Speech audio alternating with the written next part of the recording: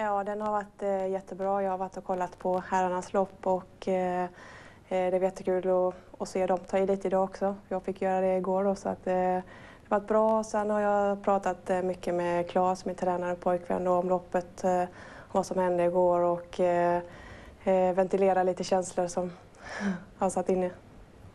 Segern här var ju ett riktigt kraftprov. Inte bara att du jagade i kapp och spurtade förbi folk föll som käglor runt dig. Vad är det som gör dig så stark?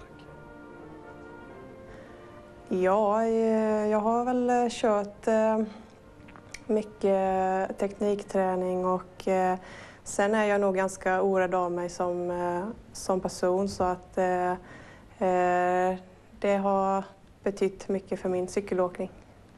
Eh, när du berättade i tidigare reportage hos oss att du har längtat efter att äta pizza och chips. När kan kalaset börja? Ursäkta, nu hörde jag ingenting. Pizza och chips, när kan du börja äta det? Oj, ja, eh, det har börjat eh, redan eh, faktiskt två veckor innan VM för att VM gick ju i Belgien och det var en platt bana och kallt väder så att jag behöver lite extra fett på kroppen så jag har faktiskt eh, satt igång redan för två veckor sedan och käkat och det kändes eh, bra. Okej, frosseriet kan nu fortsätta ett halvår till. Tack och grattis Susanne! Tack så jättemycket! När